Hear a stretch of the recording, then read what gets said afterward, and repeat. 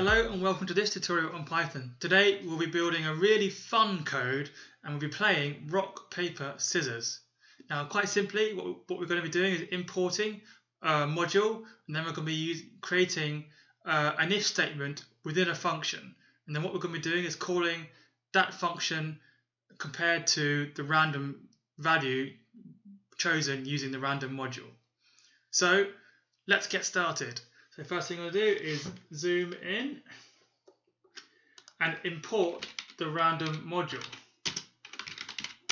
as R to keep it short. The next thing to do is to create our list. So our list is simply going to be called RPS or rock, paper, scissors. And inside that list we're going to put rock, paper, scissors. Make it a bit smaller. There we go. The next thing to do is to create a random choice within that list. So we're going to put r dot choice,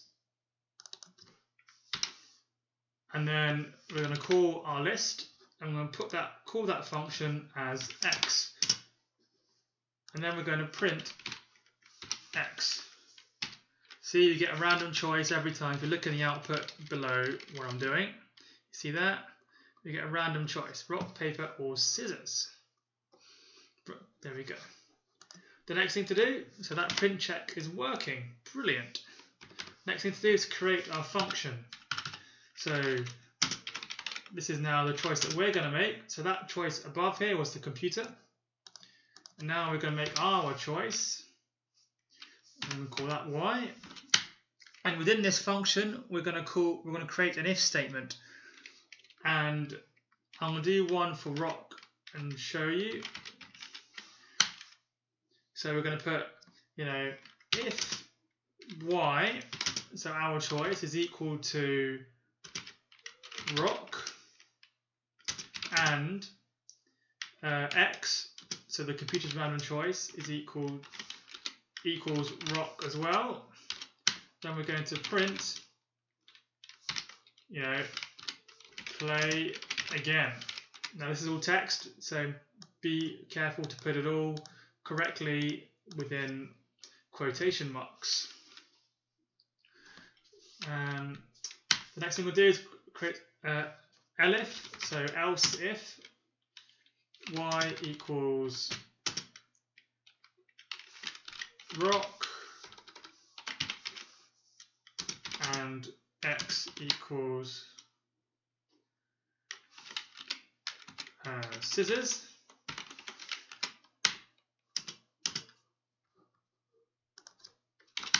you know, you have printing, print, uh, player wins. That's correct, isn't it? So if you're rock, yeah, because you blunt the scissors. And then we do exactly the same thing, but for paper, we just think of each scenario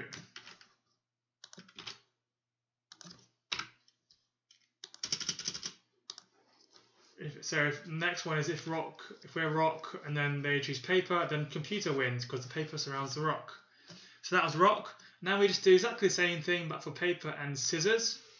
So let me just copy and paste. A bit of a cheat, but I did do it earlier. So here we go. This is paper. So we've done three different scenarios for paper. Then we're going to do the three different scenarios again for scissors. Let's put a gap there. So we've done rock, paper, scissors. Notice I got if, elif, elif, if, elif, and then you can also mix it up a bit if you wanted to. You could if, elif, if. You know, all these could be ifs if you wanted to. So there's a bit of scope, bit of freedom. Uh, and then the next thing to do is to call our function. So choice and test it out. Choice, uh, let's choose rock. So here, player wins. So it'd be helpful to actually have that print out. So let's see. So the random choice chosen here was paper. We chose rock. So paper surrounds rock, so computer does win.